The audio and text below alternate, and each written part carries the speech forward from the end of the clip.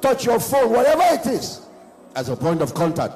I rebuke that sickness to leave you, that torment to go now. In the name of Jesus, depression, leave. That mental oppression, leave. That suicidal thought, I command it to go now in the name of Jesus.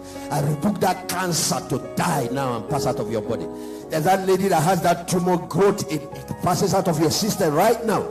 Another lady with growth on your breast, two of you now, that thing dissolved right now in the name of Jesus Christ. I see three operations over fibroid and angels are performing the operation right now uh, cutting it out of your body. Thank you jesus. There is a woman that is bleeding now. You just got healed. The thing just stopped. It, it dried up completely thank you lord. There's a guy that wounded his leg. You, you you dislocated your bones. Move it now. You are healed in the name of jesus christ. Father we release your healing power. Let the angelic ministry flow around the world and circulate touch every home every man every woman that is watching everyone that is connected by whatever means now. You let the breath of God come upon them and make them whole. Even in this, wipe every form of infirmity, every form of pain and sickness. Thank you, Jesus. Yeah, you that is dying. Yeah, you you've been feeling the past two days like you are about to die. You're feeling the pangs of death. I rebuke that thing to lose you now. You will live. You have a lot ahead of you. Thank you, Jesus. Yeah, yeah, yeah. That's the energy of God that you're feeling inside you. That's life flowing back into you. Get up. Get up from that place. Go and wash your face and get busy again. You shall not die, you will live. That's what the Lord said. Thank you, Jesus. I give you praise. I give you praise. I give you praise. I give you praise. Thank you, Lord. As a man, you were poisoned that thing and moving inside you, causing you a lot of pain. The power of God just neutralized it right now. Thank you, Jesus. Glory. There's a guy you feel like you just drank water, fresh water. You're feeling even in your throat going that is baptism of the Holy Spirit. Open up your mouth and start speaking. You see his tongues. You're just kamboro, the hika, boss. Speak it out. Yeah, it's baptism of the Holy Spirit. That's what it means. Out of your belly shall flow river Hey, and it's happening. Three other women is happening. The thing is spreading. Receive it in the name of Jesus Christ, the Son of God. Oh, Paristiniba, Kenda Soros. Our captain has won the battle, and he has given us victory. Can I hear somebody say amen?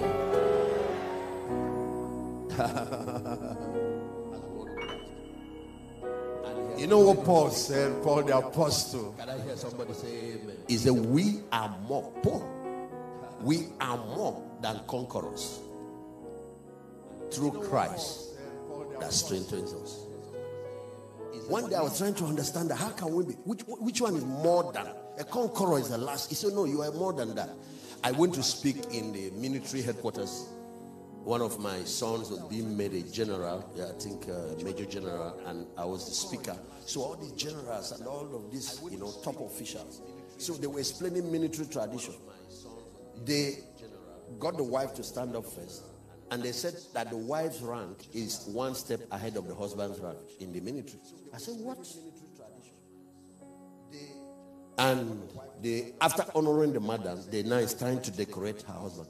I, I turned to somebody, I said, Is his wife in the army? I'm not aware of that. He said, No, that's the tradition here. That the army recognizes the woman as one step ahead. That's how they honor them. The man fights the battle, but the wife is given one step on. I don't think you're getting it. I work hard, make money, save money. Then I go and buy a beautiful Jeep Lexus, bring it to my wife because I love her. I that conquered the economic world to make the money, I'm a conqueror. But the person who didn't have to fight, but he got it, is more than conqueror. That's what the situation that painted for.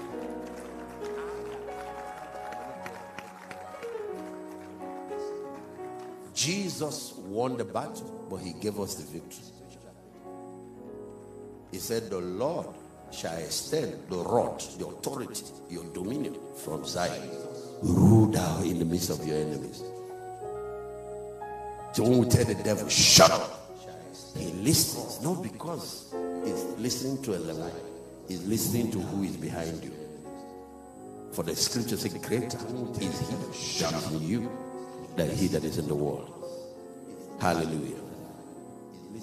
He paid the price, but he gave us the goods. Okay, back because I just have maybe one or two more things and I'm through, really. You know, there's a lot here, but I can see it. So we'll flow with him.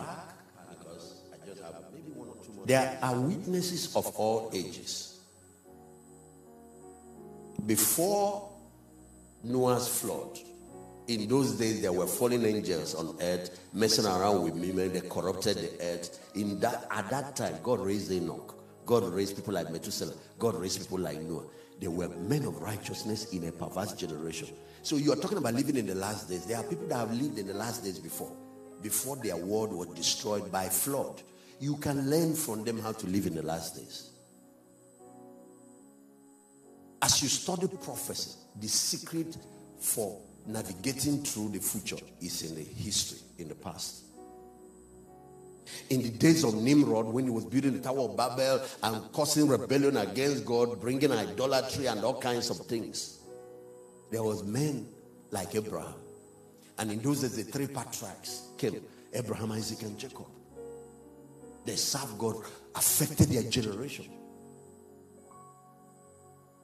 in the days of the Pharaohs, then we now have the Moses, the Josephs, the Miriam, the Aarons. They delivered the people out of Egypt with all the occultism and magicians of Egypt. At every generation, Satan will bring out his champion, his Goliaths. And God will always bring his small David and they will defeat him. And he loves using David so that the world will know that it's not by power or by might. They will know who did it. That's what God is going to do. You are the little David God is going to use to put the enemy to flight again in this hour. In the days of David with Goliath and all that, you know, God used David and a couple of mighty men that he raised. In the days of Joshua, when there were giants, nine feet tall, 11 feet human beings, and that's the kind of people you have to go and fight, and they are so wicked. God used Joshua and the Joshua generation to wipe them out.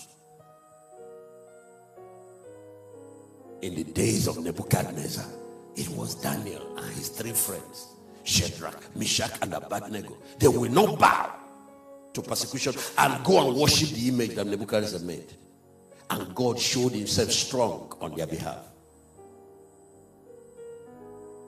In the days of Persia, the Persian Empire that followed Babylon, Satan raised a champion by the name of Haman. He came out with a program to wipe out all the Jewish people. Guess who God raised to tackle him? A woman, a young girl, pretty young girl by the name of Esther. Just put her in the palace. Once the madness of that Haman heated up, Esther rose up and God used her to silence little David. Little David. Little woman, young girl and ended up that the Jews so prospered after that because they defeated the enemies. What was planned for them happened to the enemies. The Haman himself was hanged on the same gallows that he made to hang Mordecai, Esther's uncle. We there will always be challenged from the devil, in the kingdom of darkness, yes, but they will always suffer drastic and classical defeat.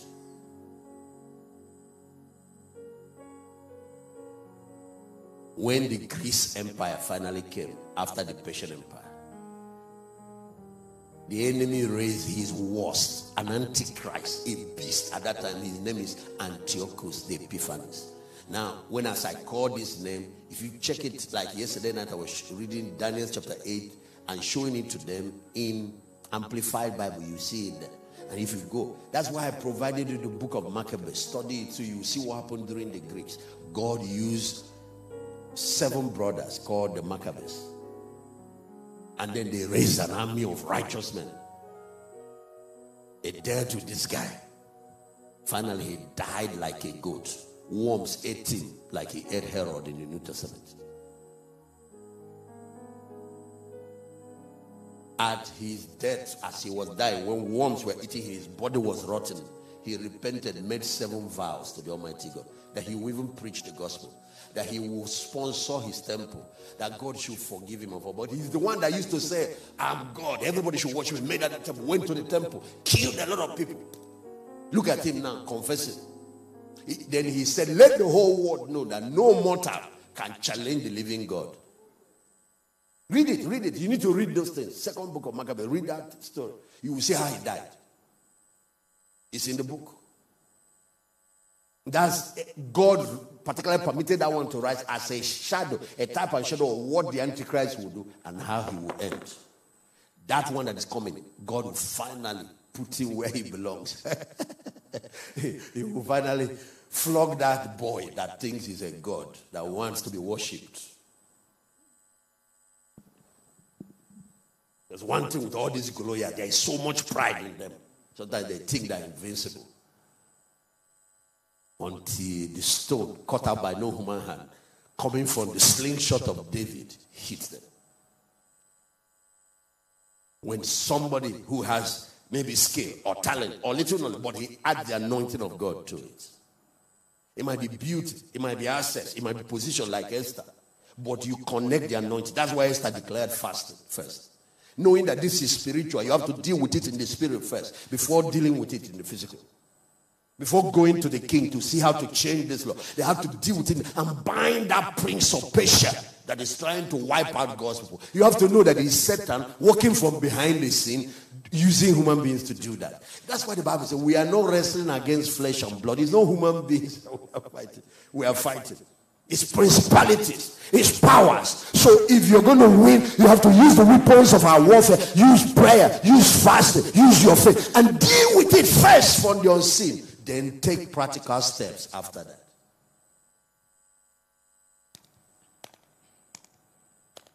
In the days of the Roman Empire, Satan raised his giants. Emperor Nero, demon possessed man, went after the apostles, were throwing Christians. You know, they built coliseums like stadiums. It's force. Guess what they do? They bring a Christian to fight a lion, and he will be devoured. They bring another one to fight the gladiators. They will be massacred. They will bring another one, and that's that. They will be rejoicing. Rome, Rome. I've been to some of those. They are amphitheaters. They are now dilapidated, where they used to sacrifice believers. What did they do for believing in Jesus? They will put them in the field like football pitch. People will be seated and be shouting, and then they will unleash three lions.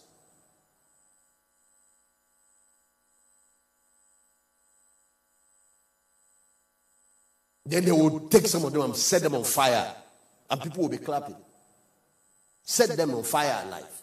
What did Rome not do? Beheading of Christians.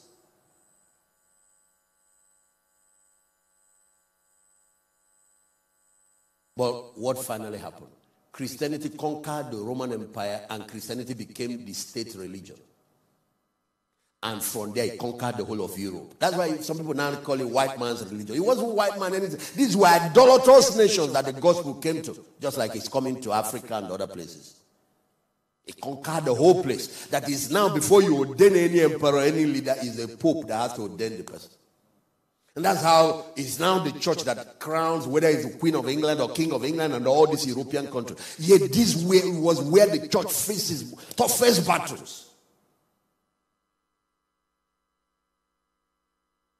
And now we are going to be dealing with the revived Roman Empire and the last assault. This is the last match. There won't be another. This is the last one. And this end time church, an end time generation, is the one that's called to get into the ring. I'll be lying if I tell you it's not going to be a tough. It's like fighting Goliath. Don't think Goliath, you know, but it is when you use the weapons of our warfare. When you realize that it's not just you, that is, it, don't don't put yourself with Goliath, match yourself with Goliath, match your God with him.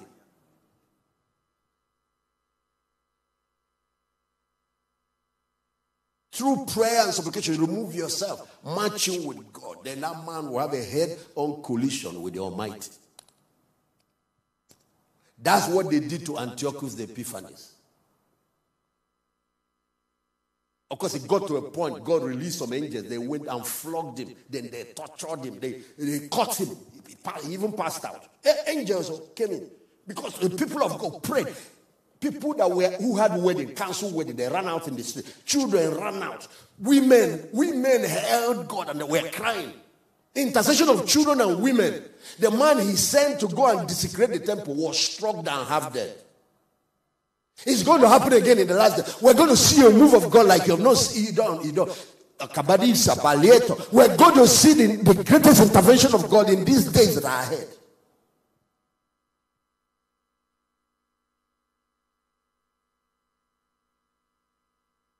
Look at all the things they planned for 2020 and all the things. Can't you see how they are all falling apart? It's fasting and prayer. It's prayer of God's people, in case you don't know. They are regrouping. They have to go and recalculate and get ready for the next.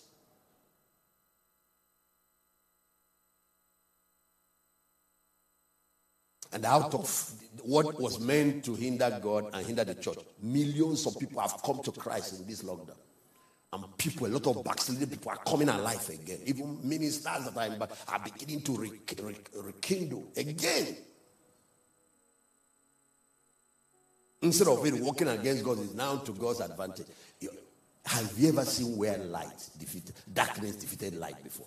So, evil can never defeat good.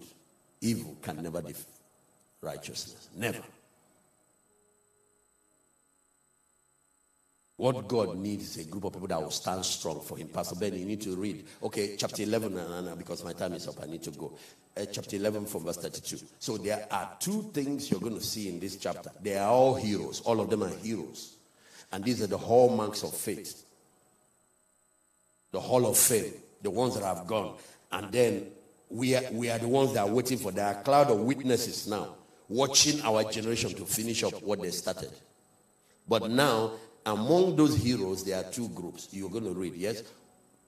And what, what shall I more say? For the time would fail me to tell of Gideon, and of Barak, and of Samson, and of Jephthah, and of David also, and Samuel, and of the prophets. All those prophets of the Bible you read, these are warriors that defeated the enemy in their time. Go on, yes. He said, Time will fail me to tell their full story. Here, yes, go ahead. Who through faith subdued kingdom? One of those weapons is faith. Yes? Wrought righteousness. One of those weapons is the breastplate of righteousness. Living for God, living pure life.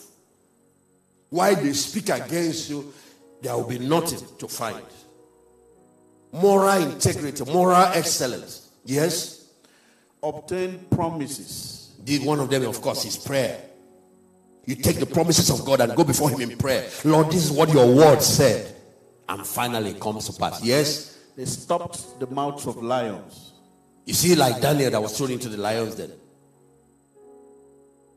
Next. Go ahead. Quenched the violence of fire. Some were set on fire. Some the fire couldn't burn them.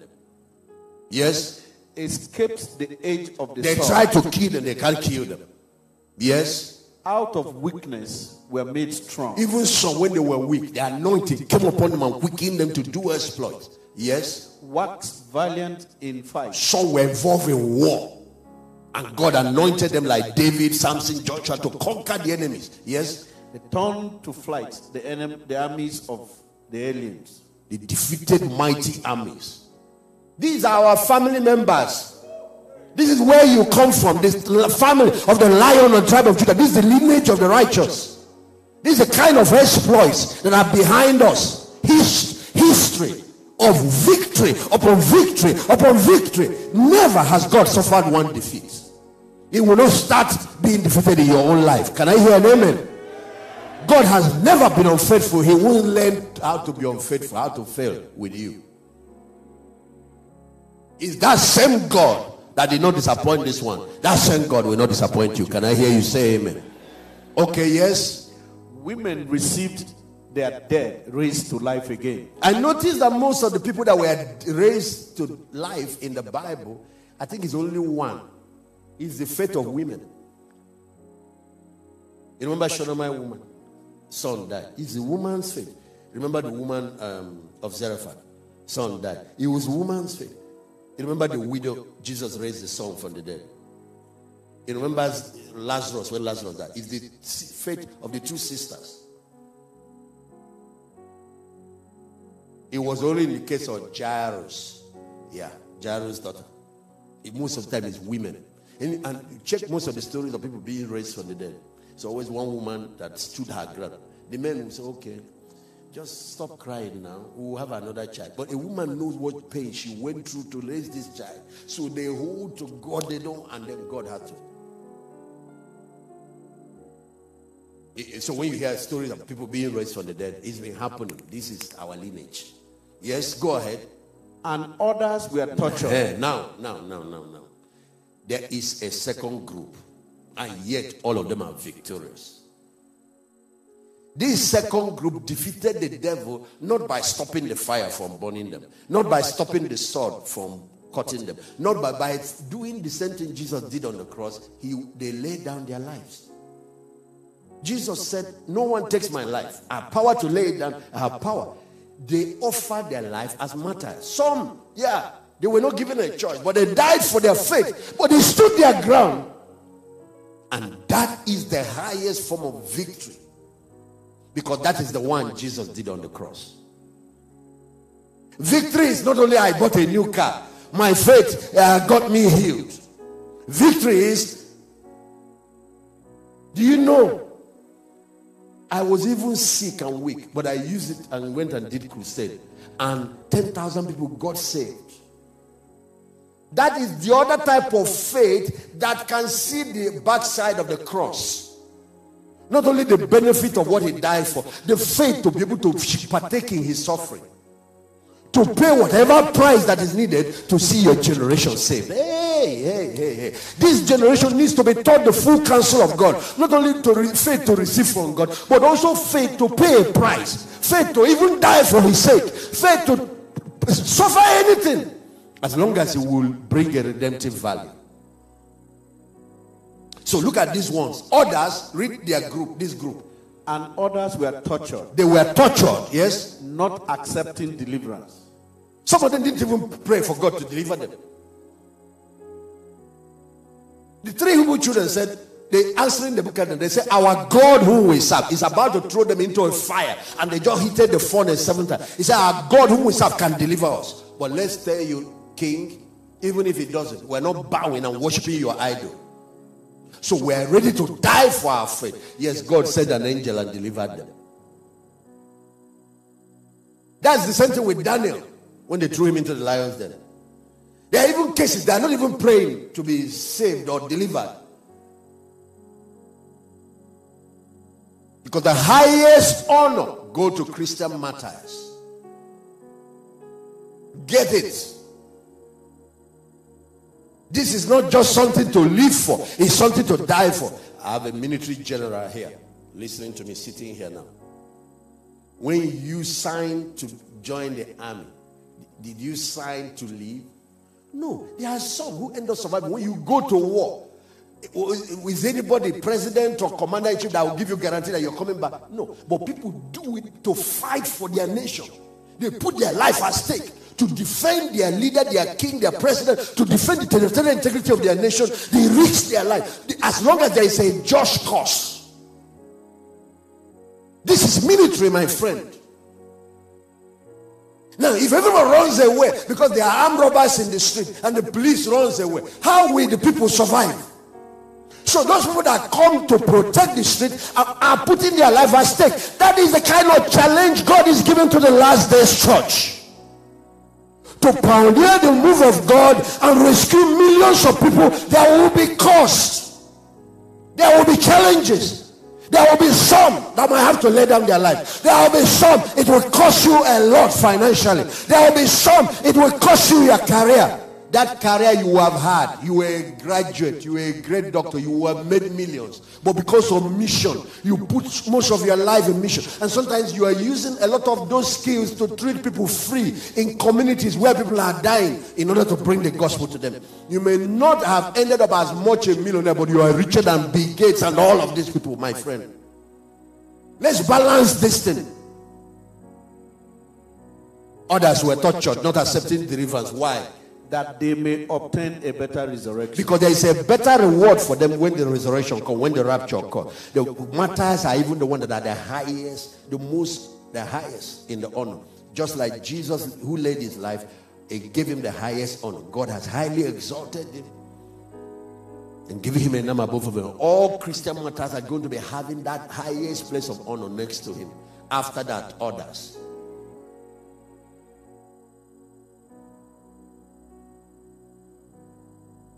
You know, people know that people die joining the security agencies and they still join.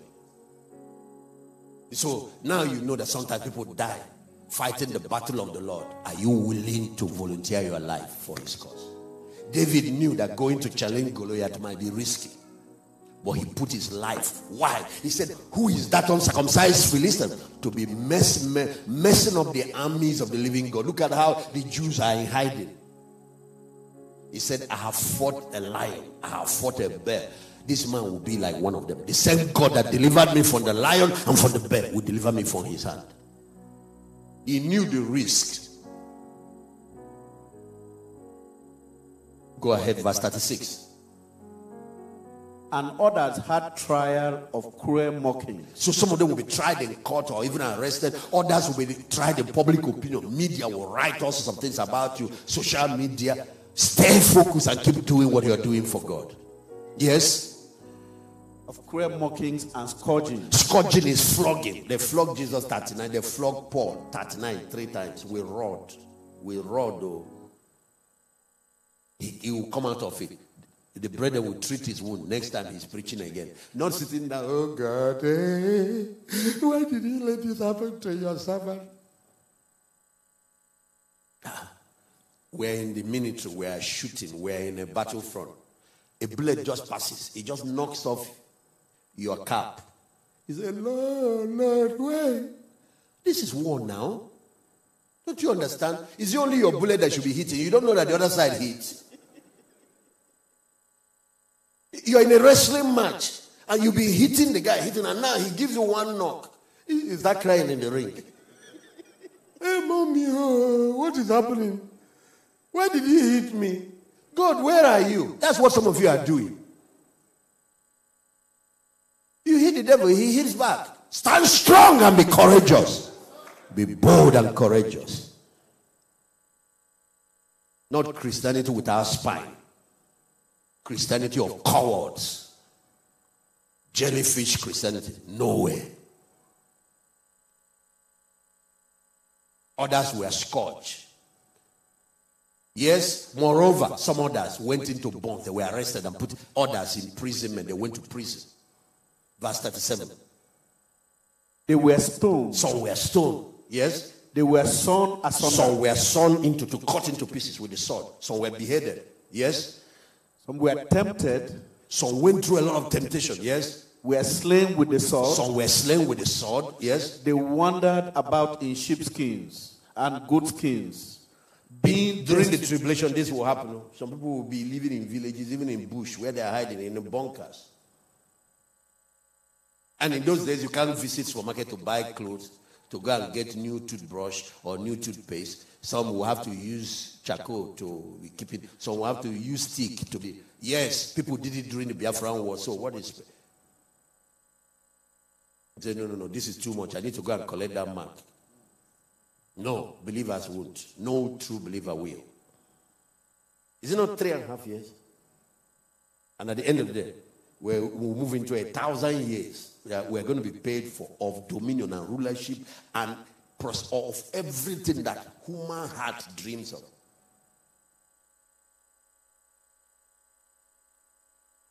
Some wonder about in sheep's coat because they, they kill animals, use the skin. Because they are living in caves and in bush, trying to hide from. Yes, go ahead. Being destitute, afflicted, tormented. Do you know what destitute is? It doesn't have accommodation. Because of what is going on. This is wartime. Your parents did it during the war. There is a new generation that they don't understand anything about suffering for Christ. Pastors are pampering them with only promises. You need to be trained well. It's military. You are in the end time army. You must be trained to endure hardship. And that's what Paul wrote to Timothy. He said, Endure hardship as a good soldier of Jesus Christ.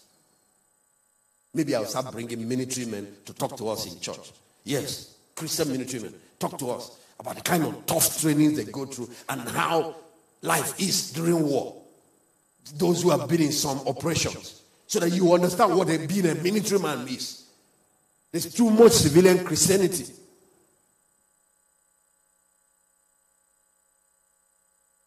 When you talk to some of these our, our, our brothers and sisters that are fighting in Sambisa Forest or in whatever, you understand what, what it looks like. That's not the place where you're talking about buying a uh, new phone, iPhone 5. Uh, uh, do you know the latest Lexus? No, you're talking about coming out of life, defeating the enemy. The reward will come later, the honors will come later. The great tribulation is coming when the end time church will be put in the ring face to face with the dragon. And it's the same one that Jesus defeated on the cross. Don't fear him. That's why he said they overcame him by the blood of the Lamb. Remember the cross, use it to defeat him again. But one of the things he mentioned there is by they love not their lives unto them. These people are sold out to God to the point of being willing to die for him. If it comes to that point, so be it. Because we don't lose no matter how it goes. Christianity doesn't end here. Our faith doesn't end here. There is a resurrection and there's a second coming. Just like he had a second coming, there will be a second coming for every believer. Yeah, look at it. Of whom the world was not worthy. Go ahead, sir. Of whom the world was not worthy. They wandered in deserts and in mountains and in dens and caves of the earth. Verse 39. And this all, having obtained a good report through faith, received not the promise. Because the ultimate promise of resurrection, they have to wait for us to finish. Then they can now reward everybody. They are all still waiting. Yes, verse 40. I have to close. Yeah. God having provided some better thing for us, that they without us should not be made perfect. You see that they have to wait for us, and our own opportunity is better. Our own is World Heavyweight Championship. If at the time of Abraham, Abraham won, at the time of Moses, they defeated the devil. At the time of Joshua, they defeated him. At the time of David, they defeated him. At the time of Esther, even again, defeated him. At the time of Daniel, dealing with the beast of Babylon, they defeated him with his three friends. At the time of the Maccabees, they defeated him. At the time of Jesus, he defeated. At the time of the apostles, they defeated him. It's our time. Are you going to push shame on the name of the Lord? Because you don't have courage.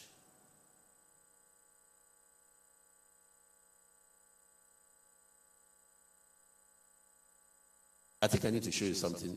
Revelation chapter 20, verse 8. I think it's 21, verse 8, yeah? There's something I need to show you there. The list of people that will go to hell. I want you to see the first two groups.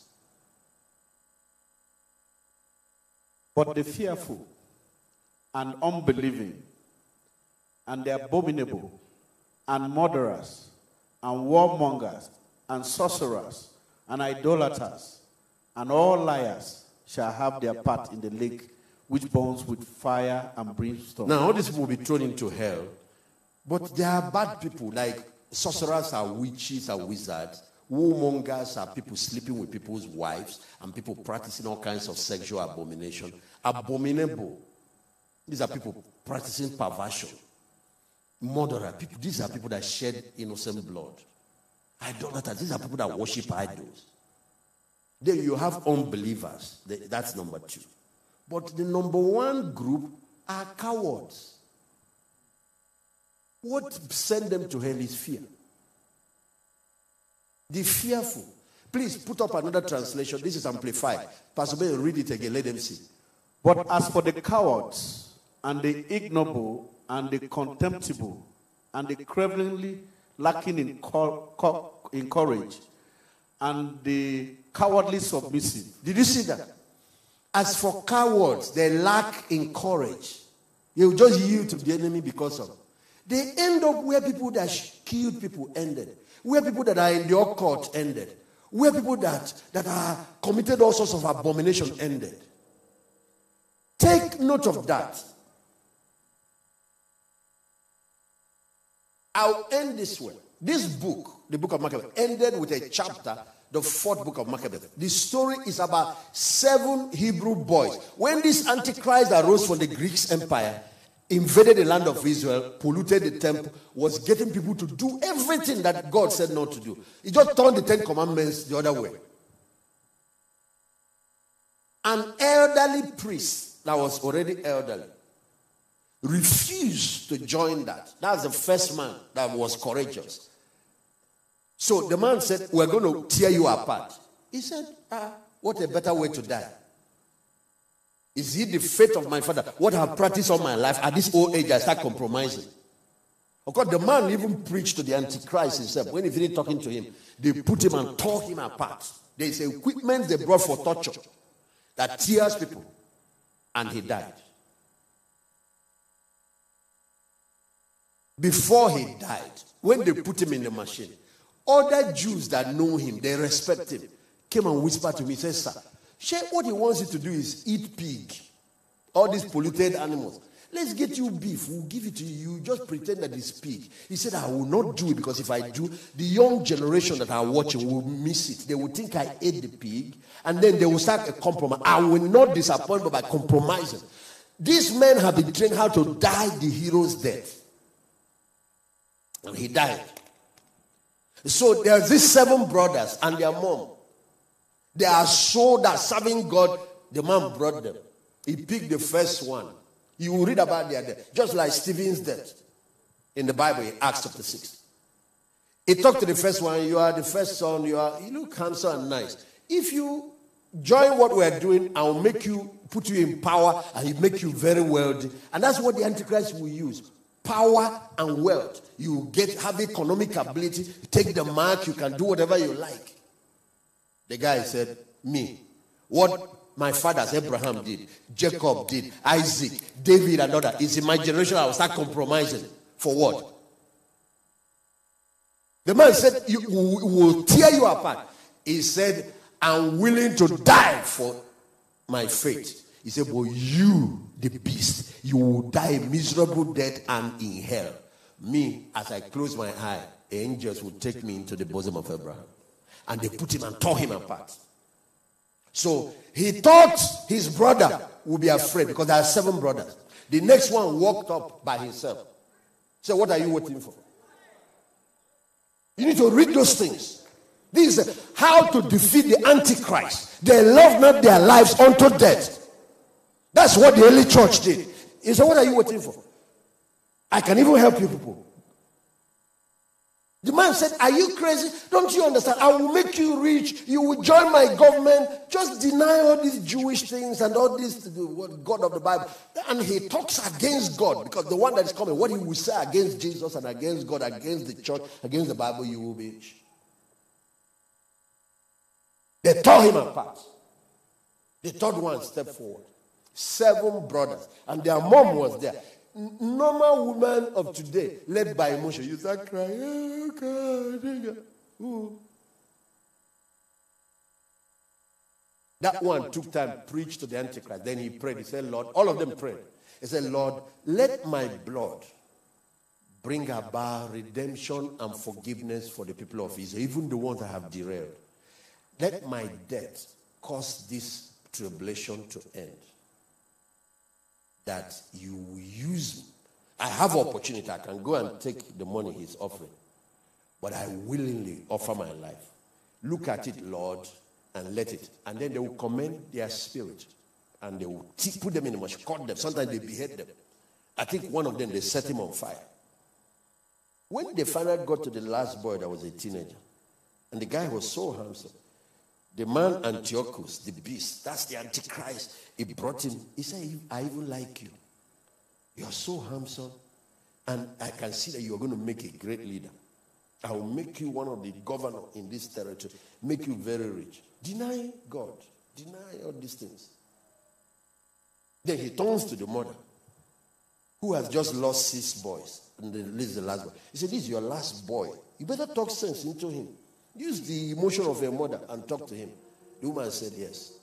So he called the boy by the side and spoke to him in Hebrew language and said, You dare not disappoint the God of your fathers. You dare not disappoint Abraham, Isaac, and you dare not deny the covenant that God gave to the Jewish people. Die a hero. How many women of today? You carry emotion. You think it's emotion. Faith is different from emotion. Faith is conviction. Conviction rules over emotion.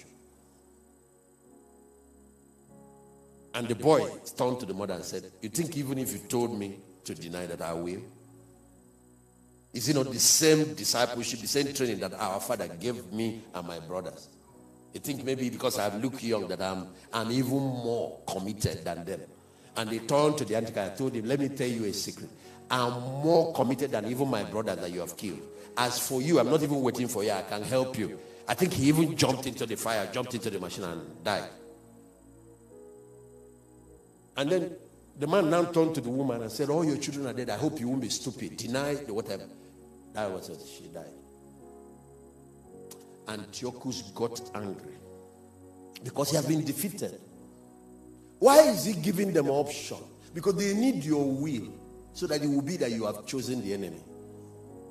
Take the mark. Why wouldn't you just carry me, tie me in chain, and inscribe the mark by force? It won't have effect. But they need me to agree. Are you people hearing what I'm saying? So you now use threats.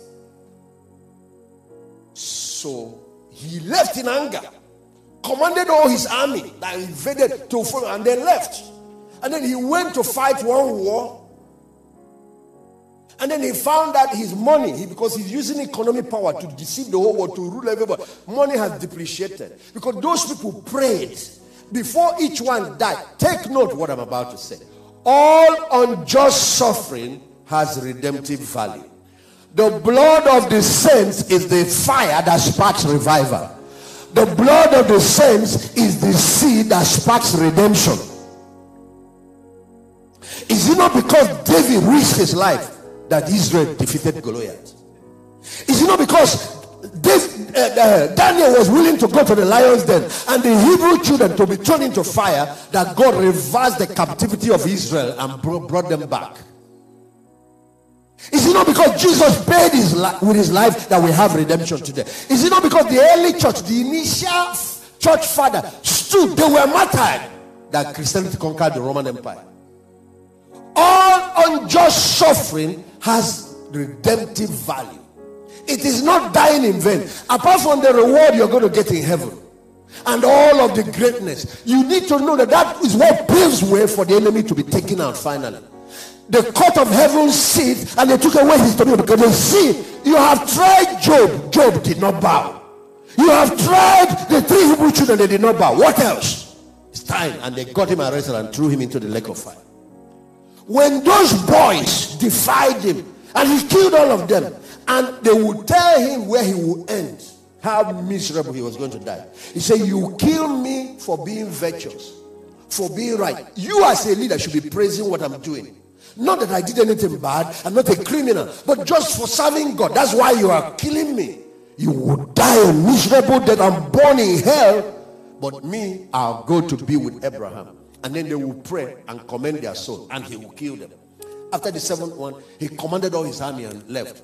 Then he called his soldiers and told them, If you people are as committed to the cause as these Hebrew boys, there is no country we can conquer.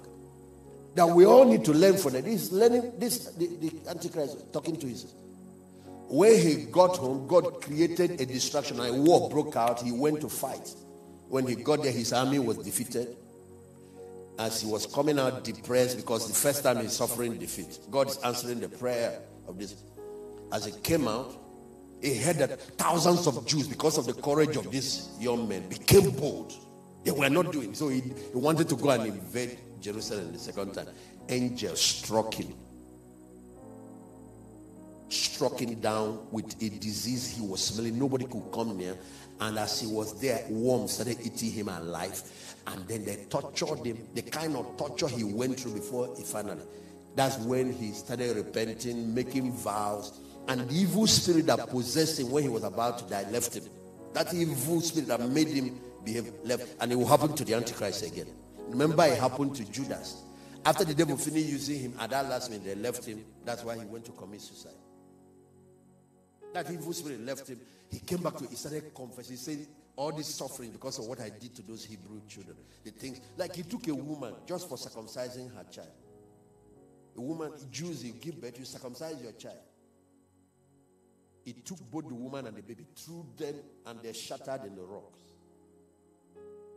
He started remembering all the evil he did. He wrote a letter of apology to the Jews and asked them forgiveness.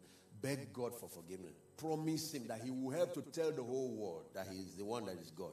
Agreed that he's a human being, that he's not God. That's the person that used to think he was God. Promised to even preach. promised money to the temple. promised to rebuild the temple he destroyed and messed up. But of course, God will never forgive. God didn't forgive him. He died miserably and perished.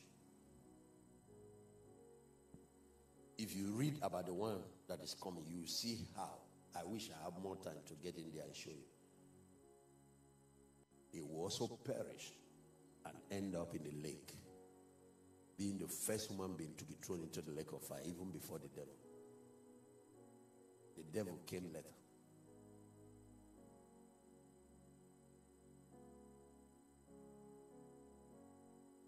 All those Jews that joined him in that corruption, they, they paid dearly. And at the end of their righteousness triumphed. The temple was restored. And the Jewish people moved into an era, a golden era. And that's what happened preceding the birth of Christ, the coming of Christ. Now, before his second coming, we're going to have another season like that. And that's what the Bible is prophesying that is coming in the future. Just like the coming of Elijah will precede his first and second coming. For his first coming, he came as John the Baptist. He's going to come again. The enemy will do his worst just before he came the first time and before he comes the second time.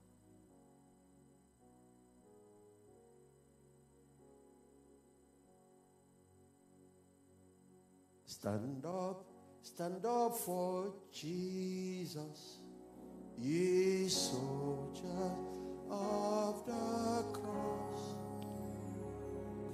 Lift up his royal It must not suffer from victory unto victory.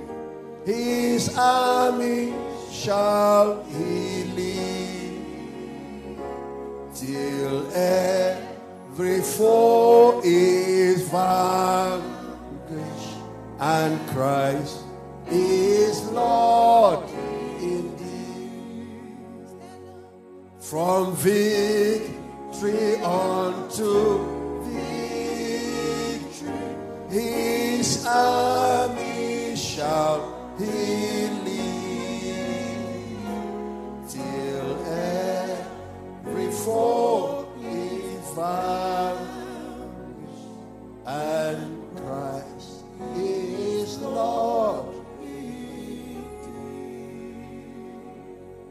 When a war is over and you are honoring those that fought valiantly to obtain victory for their nation, there's also honor for fallen heroes.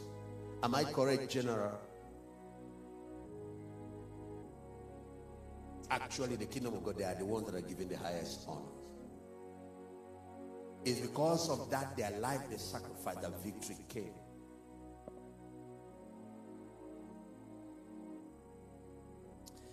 They were talking about the war, that whether it's the Second World War, and there was this military ship that has about 5,000 people operating in it from where they launch aircraft, and the Japanese flight bomber was heading. He wants to reach that ship and bomb it so that it will massacre not only the equipment but those 5,000 Navy soldiers or officers. And a flight pilot, a US flight pilot, saw what was going on and saw what. You know what the guy did? He forgot about it. He carried himself, not just the bomb he was firing, because he saw so many fighter jets firing at him. He maneuvered through all the bullets, went for that one that was going for the ship, and plunged his aircraft on it, destroyed that enemy that was coming. And of course, you can imagine the two aircraft explode with fire on them. Just to save his brothers and to save his nation from defeat. That was they are talking about now.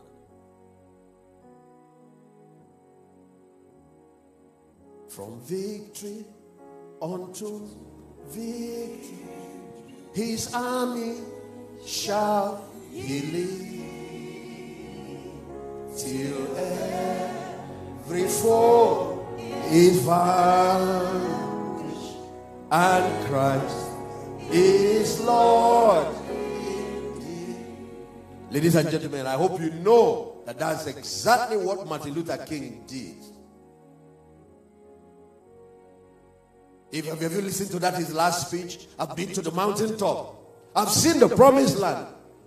We as a people will get there, but I will not get there with you. Because his life was to be offered so that African Americans of all ages can get liberty and certain rights that are enjoying today. Today, again, there's a new fight to take care of what Martin Luther's death didn't take care of. But remember what his death achieved. 40 years after his death, we could have a black man in office, Obama. Obama is reaping what Martin Luther sowed. Remember what Nelson Mandela did to the seven years of his life in Robben Island. It was like death in prison. But finally, he conquered apartheid and brought freedom to black South Africa. You think the weapons for conquering is just faith, binding, and prayer? No. Self sacrifice is the most dangerous weapon in the arsenals of the saints. Self sacrifice. That's what Jesus did on the cross. They loved not their lives unto death. When you get a generation of Christians that don't fear death, that don't mind to pay any price, then you can unleash the army God has been waiting for for the last days. They will go wherever God said to go. They will give whatever God said to give. They will do whatever God said to do because they don't care what it costs them. Self preservation is what is defeating the church today. Self centeredness is what is defeating us. Selfishness is what is defeating us.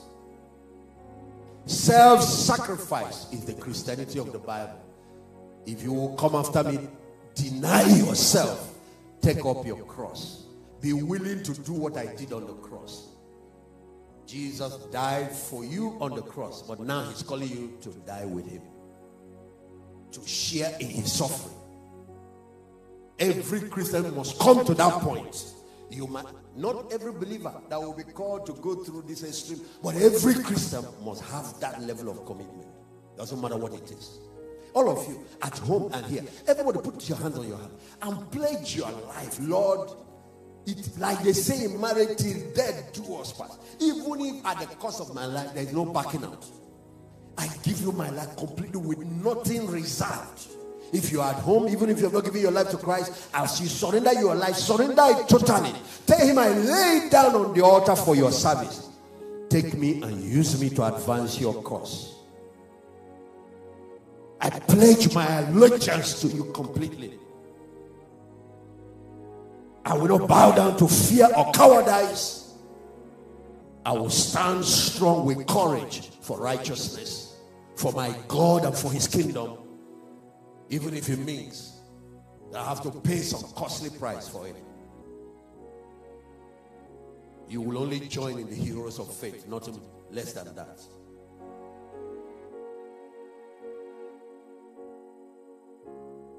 Because of Martin Luther, African Americans can enjoy the level of liberty they are having today because of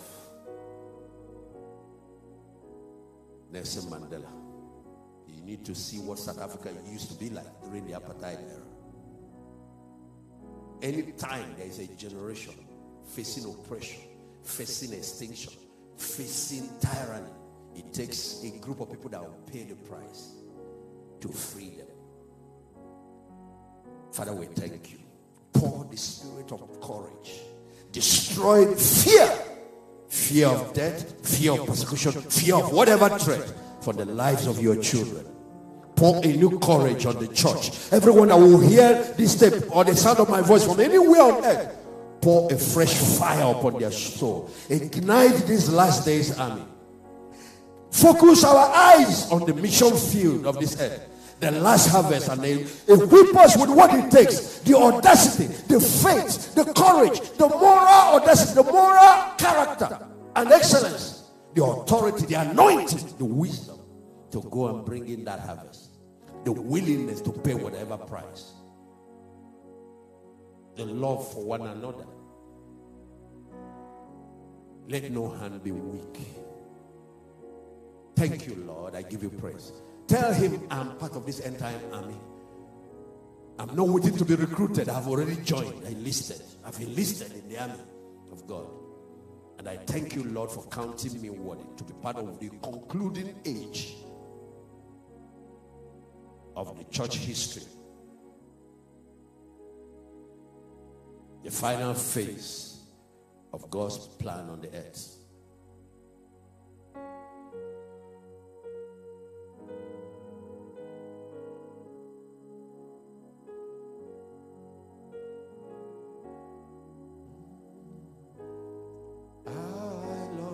Anybody want to give an offering, just go ahead and do it. If you want to tithe at home, wherever, use the information on the lines to do that.